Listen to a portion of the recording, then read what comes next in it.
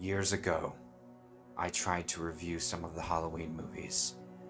And in the course of time that I reviewed those three films, something tragic happened. And while I may not remember most of it, I do recall the aftermath.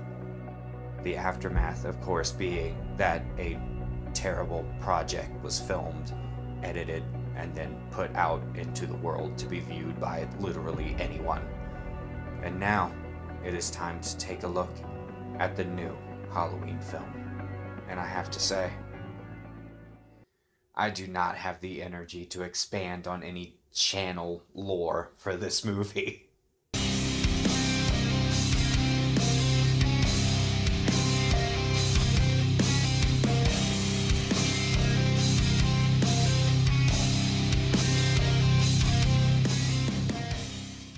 Welcome back, everybody. It's been a hot minute since I made a review, but when a new Halloween movie comes out, gonna have to talk about it, especially since it's a sequel to the 2018 Halloween, which was a massive success as far as box office and acclaim goes. My thoughts on that 2018 soft reboot have changed since I initially reviewed it. I talked about that in this video. But overall, I still enjoy it. Like, it's still a fine movie.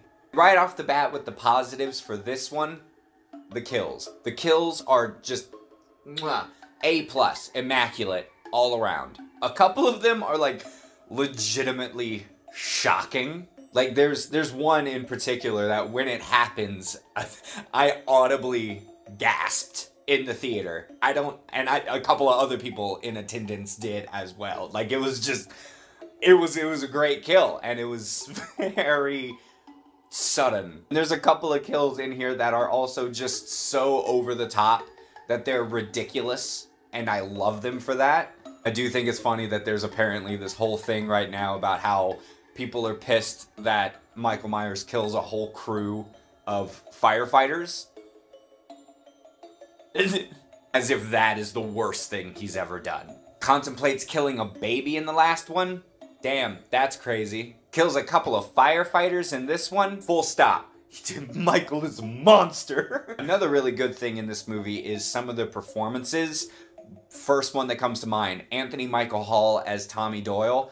He's he's phenomenal. And he really just has this air of uh, panic through the whole movie. Like panic being presented as just flat out rage he wants Michael dead. When he finds out that Michael is out doing his Michael Myers thing again, he is on a mission through the whole movie. And he really keeps up that energy through the whole thing and he's he's probably giving the best performance, one of the best performances in this film. And then Robert Longstreet as Lonnie, we we definitely don't get much of Lonnie at all like in the original film all i mean all i can remember from lonnie is when loomis is being a dick to him hey lonnie get your ass away from there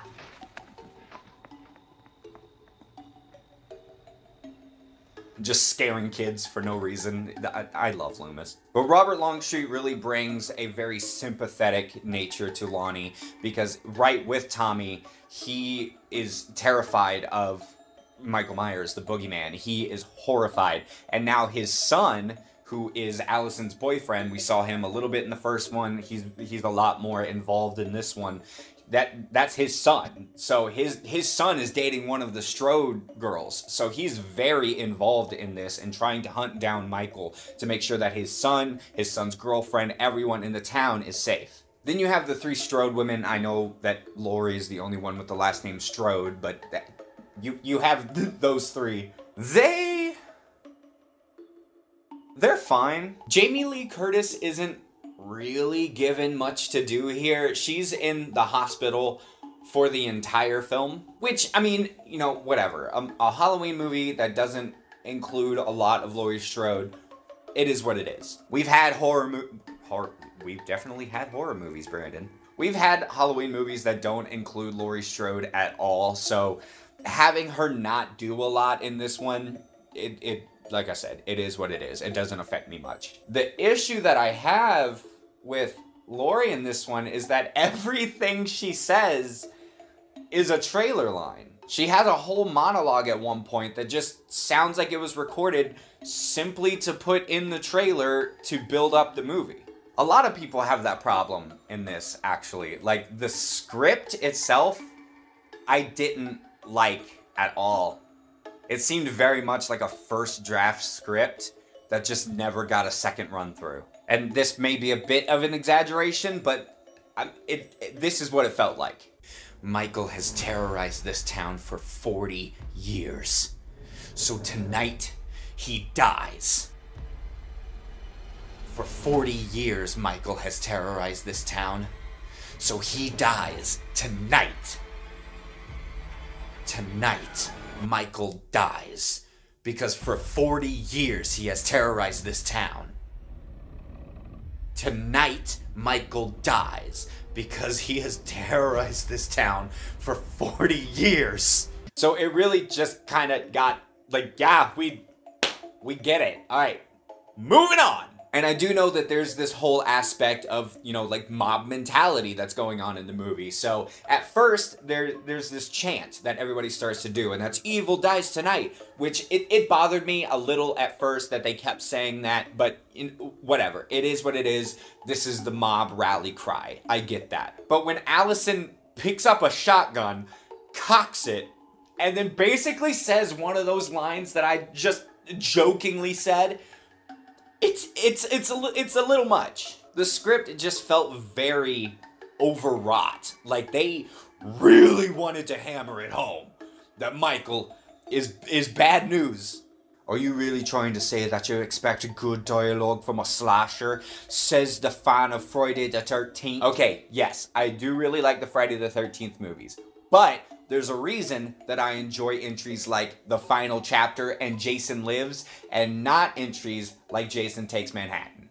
I just want I I want I want a good script. I know that we come here to see the big mo- movie monster kill a bunch of people, but I also want to actually feel like I'm watching real people. And while people are giving these really honestly kind of cringy trailer lines there are still like allison she does a good job in this. She has one scene spoilers for halloween 2018 i guess. I don't know why you would be watching this if you haven't seen that. But she has a scene where she's you know grieving the fact that her dad died and that is her whole motivation for wanting to go after michael because he killed her father. So Andi Matichak Allison, I really hope I'm pronouncing that right. She does a really good job. Aside from a couple of corny lines here and there, she does give a good performance. But Judy Greer, just like in the last one, Judy Greer is playing Karen, Laurie's daughter. And the problem that I and some other people had with her in the last one is that her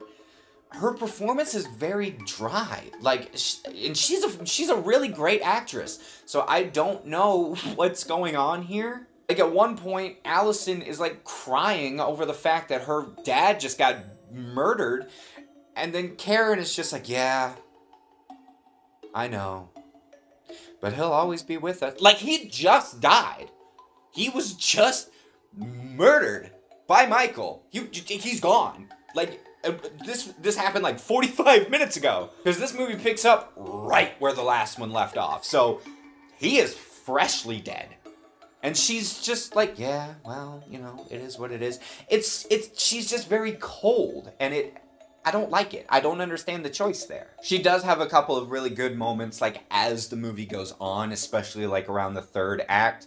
But yeah, she I don't know, just really weird character acting choices that I that don't really vibe with me personally. You do get some, you know, kind of cool backstory when it comes to a couple of the cops in the town and flashing back to that original night in 1978 and you get different perspectives of things and that that was that was actually really interesting to see. And a lot of the side characters are a lot of fun too. There is this uh, couple they just call themselves big john and little john. They they were they were probably the best part of the movie because this this movie has a lot of comedy in it just like the 2018 one did I liked it in this one more than the one than in the 2018 one. I I I don't know why. I don't know what was different about the fact that there was comedy in it, but I think it worked better in this one for the most part, especially with Big John and Little John. Like they were incredible. So funny and they're just their banter back and forth, the chemistry that they had throughout this Halloween night was great. So, overall, while I do have some serious issues with the script and the dialogue and some of the character choices, I really had fun with the movie. The kills were phenomenal. Some of the characters were incredible. Performances from choice actors were also really good. So I'm going to say that Halloween Kills gets a B minus. Have you guys seen Halloween Kills yet? If you have, let me know down in the comments what you thought about it. Or are you excited for Halloween Ends? Because I know I am. Because with how this one left off, I think I have an idea of what they're how they're gonna wrap this all up and what they're gonna do in the next one, but the ending of this one really surprised the hell out of me. So I I there's really anybody's guess as to what they're actually gonna do in Halloween Ends. So whatever it is, comment down below, let me know. Go ahead and check out my social media. The links to all of that will be down in the description. But before you do anything, go ahead and hit the like and the subscribe so that I can see you guys next time.